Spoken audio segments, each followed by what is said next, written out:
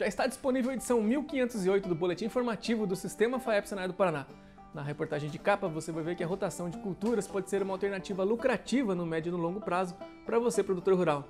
Nós trazemos também um exemplo para de como você pode fazer essa rotação na sua propriedade. Nós acompanhamos também o início da colheita da soja em todo o nosso estado.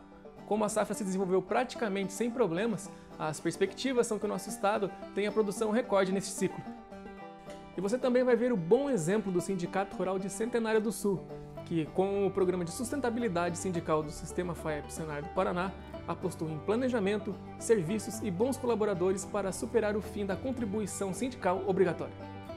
E olha só que legal, recentemente o governo do Paraná lançou o programa Descomplica Rural, e nós do Sistema FAEP Cenário do Paraná preparamos uma cartilha para tirar suas dúvidas em relação a esse programa. Esse material vai ser distribuído em nove encontros que vão ser realizados no interior do estado, mas também está disponível no nosso site. Você pode baixar o boletim no nosso site www.sistemafaep.org.br e também não se esqueça de nos seguir nas nossas redes sociais.